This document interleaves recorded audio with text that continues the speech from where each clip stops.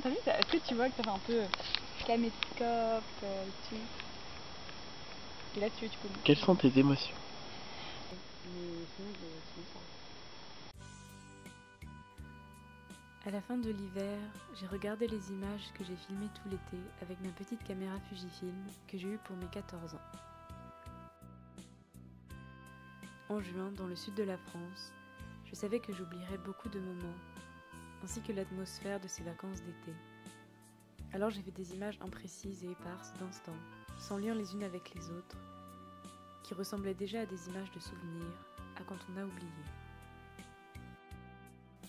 J'aimais que la qualité soit un peu dégradée, car je voulais que ce qui compte, ce soit la consistance des moments vécus, et pas les images en elles-mêmes ou les plans.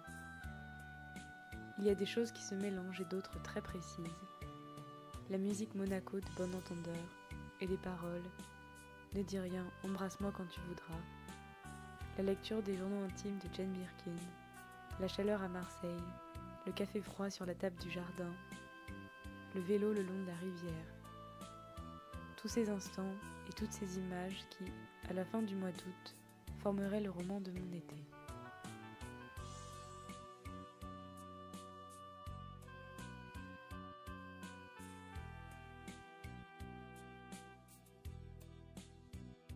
En été, j'aime ce qui se répète, les couchers de soleil, les après-midi à la rivière, les pique-niques, les fenêtres ouvertes, les maisons qui gardent la fraîcheur. tout ce qui recommence et tout ce qui change, tout ce qui ferait presque pleurer. Il y a aussi la musique Summer Nights qui est à la fin de Grease et qu'on écoutait avec ma cousine à la maison de vacances.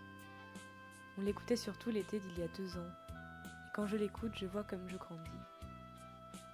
Dans mon journal intime, le matin juste avant de quitter la maison, quand on ferme tous les volets et les portes, qu'on plie les draps qui ont séché dehors, qu'on pose les vélos à l'envers, j'ai écrit Dernier jour.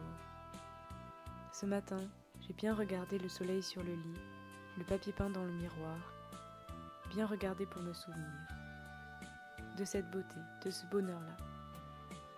Quand je reviendrai, j'aurai 25 ans.